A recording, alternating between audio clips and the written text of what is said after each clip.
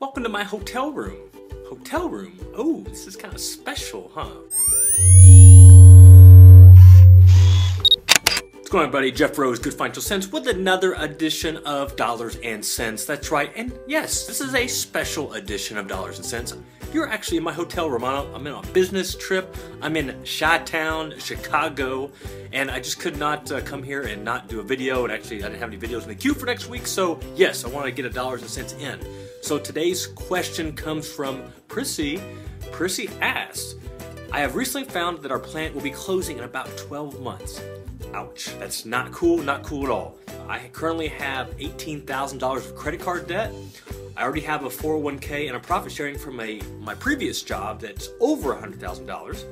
I've left it there because of low admin fees. Good call, good call, saving on cost. I have about $30,000 in my 401k at my current job.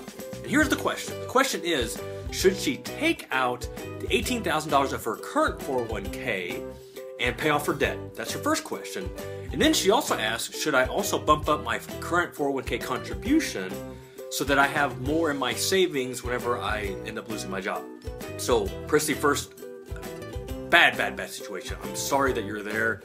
It's just unfortunate. I've been uh, with layoffs before. They're not fun, um, especially if you had a job for a long time. It's hard to let go.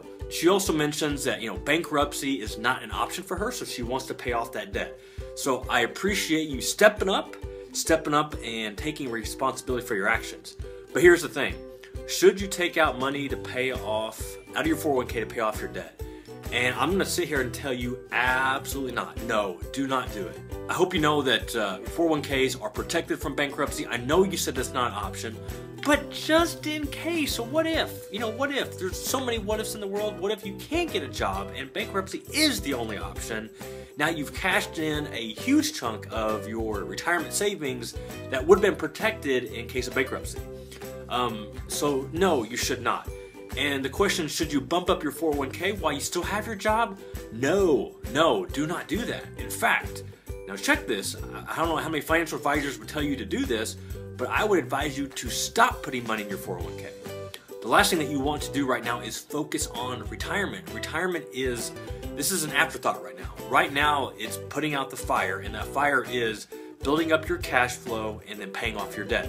So you didn't mention how much you have in cash savings. I I want to make sure that you got enough because what happens if it takes six months, nine months, 12 months to get a job? You know, how are you going to pay for your monthly expenses? So you need cash, cash, cash, cash, cash, cash.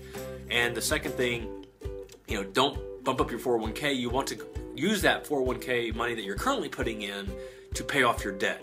So those are your two main priorities right now. And for anyone else that's in this same similar situation, boost up your savings, pay off your debt. Don't worry about retirement. I, I know it's, it's, probably weird me saying that, kind of cuckoo. What? Your financial advisor saying don't worry about retirement? But listen, that's that is that is retirement is years away. Right now, you got to focus on today, and today is getting you prepared while you look for your next job. So you need cash, you need to pay off this debt immediately. So that is my advice to you. And once again, I apologize for the situation. I, I you looks like you're doing your best, keeping your chin up. Keep it up, up, up, up. And uh, I appreciate your question. And if anyone else has any more questions, this is Jeff Rose with Dollars and Cents. I want to answer your question. So email me, contact me via the blog, hit me up on Facebook, however you need to get a hold of me. Just do it. Just do it. Do it. All right.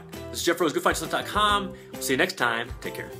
Hotel, motel, holiday inn. I'm actually in a Holiday Inn. Maybe it's not that funny.